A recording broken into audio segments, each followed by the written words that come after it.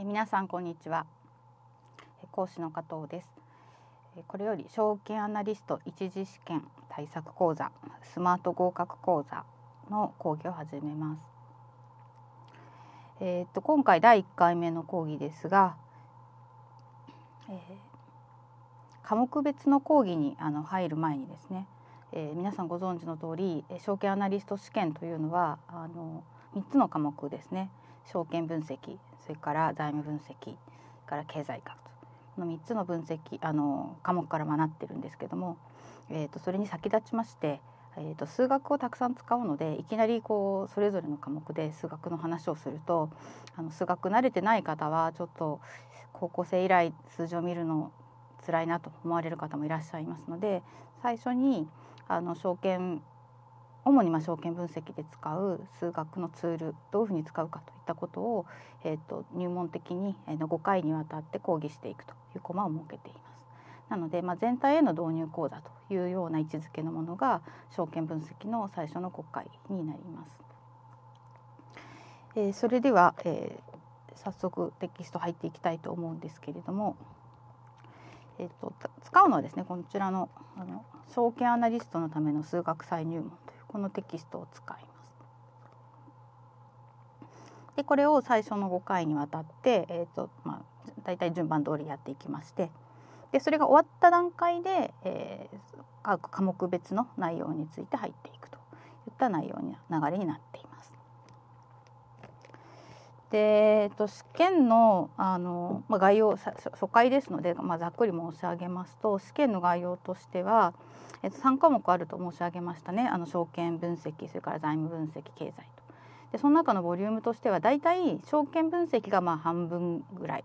これはあの試験での配点っていう意味でもそうですし勉強する時の時間配分っていう意味でもそうなんですけど、まあ、大体半分ぐらいを証券分析の勉強に使ってください。で、えー、残り、えー、半分半分の半分だから4分の1ずつですねそれで財務分析それから経済というのをやるというぐらいのボリューム感でやってください。で、えーと、この講座では、まあ、最も大事な、まあ、メインディッシュである証券分析からまず始めると。でその証券分析もいきなりやると歯が折れてしまうので、まあ、まずはあの手なあの少しずつ慣れていこうということでこちらの「数学再入門」というこの本を使いましてですね、えー、講義を進めていきます。でこの本はあの証券アナリスト協会からもあのまあ副副読本というか副テキサブテキストのような扱いで紹介されている本になりますけれどもえーと、証券アナリストの試験で出る数学だけをあの扱ってるんですね。で、えーと、しかもあの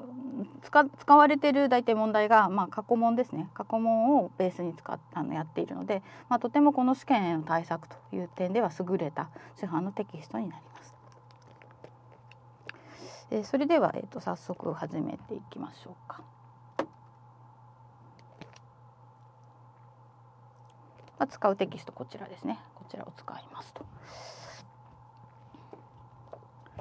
で、えー、と本日は、えー、第4章か,、えー、からまあ7章を、えー、やる予定です。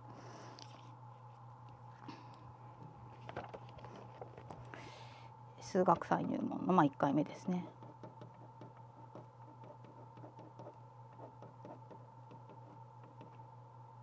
の1回目。でテキストねあの、まあ、見ていただくと,、えーと、私が今4章からと申し上げましたがじゃあ 1, 1章から3章は何ですかっていうことになるんですけれども。まあ、1章から3章はですね、まあ、いろいろ数学ってこういうふうに勉強したらいいですよねみたいな話が書いてあったりするんですね。で、えーと、結構大事なことはですね、えーと12ページのとこあの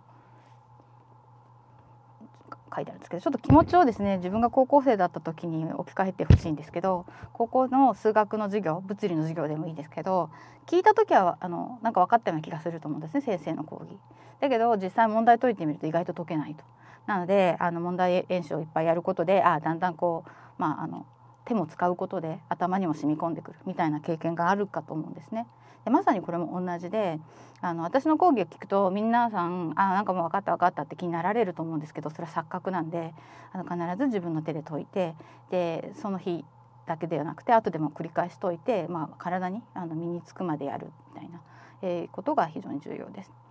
で、えー、とこの時もこれ資格試験なんで皆さんお忙しい中勉強されてると思うのであの過去問を中心にあの出るところを中心にあのポイント中心に勉強していくというやり方が非常に効率がいいと思います。ということがまあ方法論書いてあってですね。で、えーと、ちょっと便利なねあのページがあるのでご紹介しておくとまずこれ15ページですけれども15ページのところにあのギリシャ文字いろいろ書いてあるんですね。全部ちょっと引いてみるとこれで全部入るかな。はい。アルファからオメガまで。あのアルファベットですね。あのローマ字でいう ABC にあたるものですけどもあのまあアルファベータぐらいは皆さんもなんとなく聞いたことありますね。あと、えっと、一番下のオメガもあの時計のオメガで知ってますよね。でそれ以外は結構知らないものもあるかと思うんですが最近あのコロナの株を言うのにいろいろこうあのデルタ株とかこの辺出てくるデルタですね。とかミュー株とかねニュー株とか、まあ、こういうあのコロナのあの株多分上から順番に名付けてるんだと思うんですけど、まあ、いくつかそれで出てきたラムダ株も最近聞きましたね。ああいう感じで、まあ、意外と世の中で使われているんですね。えーと、特にあの科学とか物理とかあの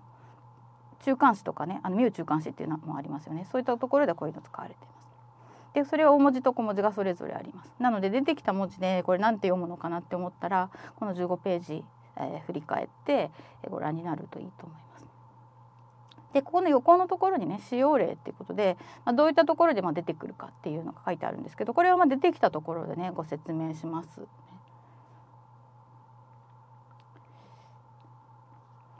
で、えー、次ですねえ16ページですね16ページもこれもあの数学便利帳みたいなものでして、えーと、記号でねよく使う記号というのがここでまあ一覧になってますね。そうですね、えーまあ後の方ですけど例えば上から2番目のコバリアンスこれ共分散これのねあの役であったりとか、まあ、そういうのちょっといろいろ書いてありますけど積分の記号とかもこの辺にありますね。なんであの出てきてこれなんだろうって思われたら16ページこちらもこう参照するようなあの便利帳としてお使いになるといいと思います。で、えーとまあ、2章からいろいろですねなんかあの大体高校数学使ってるんですよと使う範囲は大体数学1から3までですね。まあで一部ねあの変微分とかテイラー展開のように大学で習うものもあるけども実はここでやった数学がほとんどですよみたいなことがねここに書いてあります。でちょっと3章はいろいろねあの関数の計算問題とかあるんですがこれもまあ必要なとこでね解説するので、えー、っと今日はね内容としてはこちらの、えー、第2部収益率の測定というとこからいきなり入っていきたいと思います。え第4章ですね。え統計学の基礎リスクとリターンという名前ですけれどもここから入っていきたいと思います。で、えー、図表こちらですね。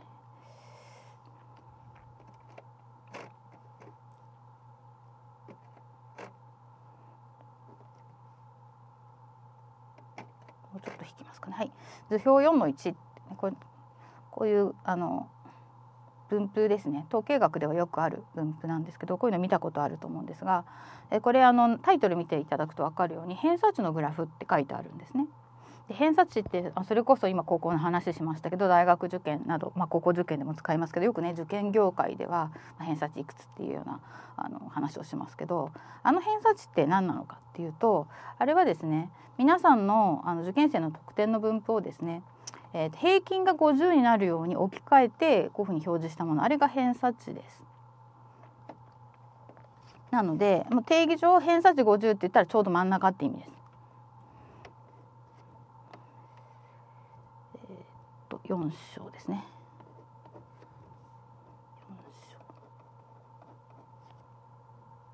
リスクとリターン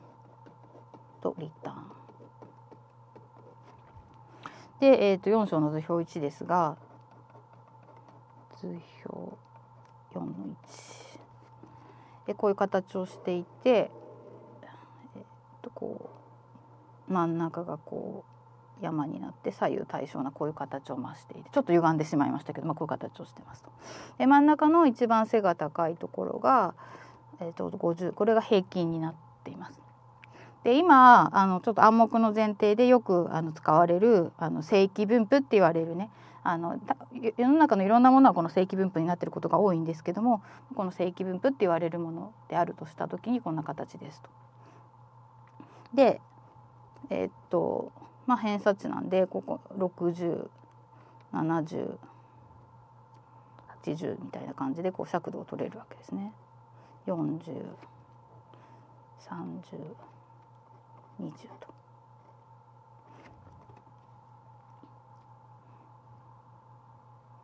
ちょっとこのばらつきのねこの距離をどうどうどういうふうにあの測るかは後でまあ説明するとして、まあ、あるこう一定のばらつきがあってでこれがね正規分布だとすると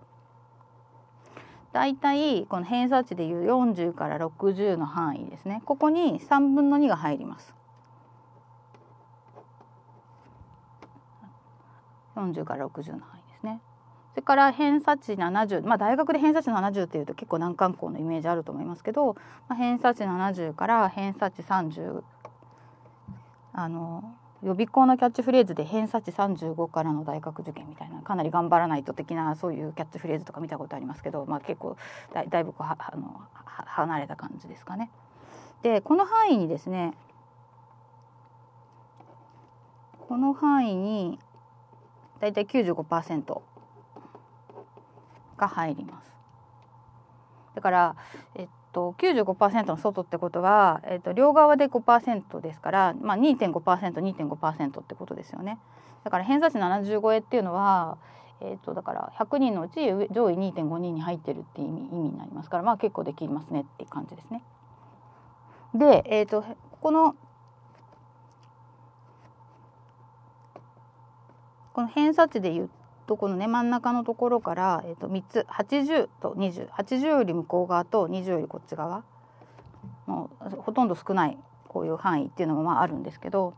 ここの範囲っていうのはえーと、これ俗に線に3つって世の中でねあのめったに起こらないことを線に3つって言うんですけどまさにこの線に3つにあたりましてパーセントで言うと99.7%要するにこの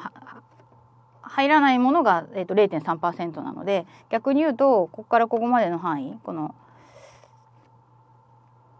偏差値20から80までの範囲に、えーと、99.7%入るとこんなような分布を、まあ、しているということが言えるんですね。えこれ今、まあ、このパーセントはこれ正規分布の場合ですけども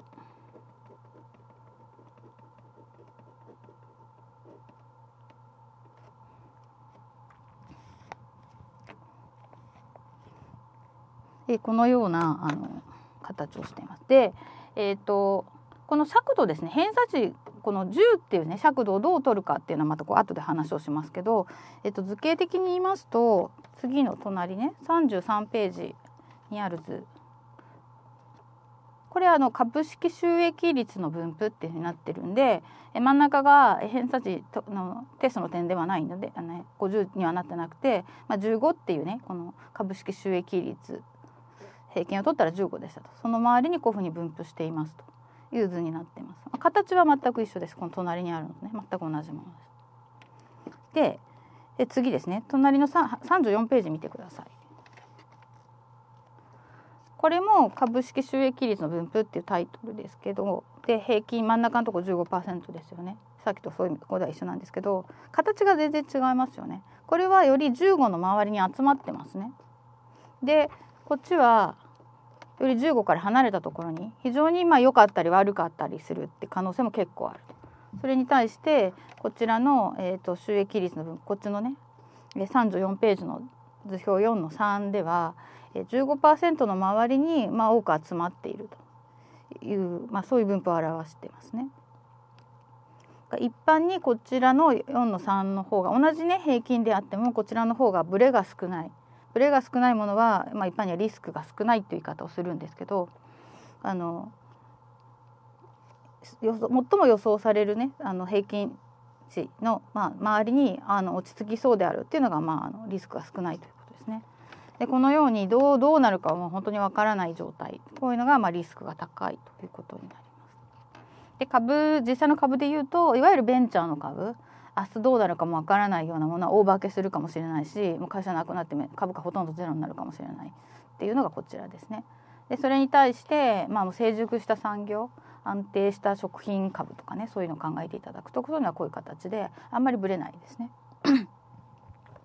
という、まあ、特徴があります。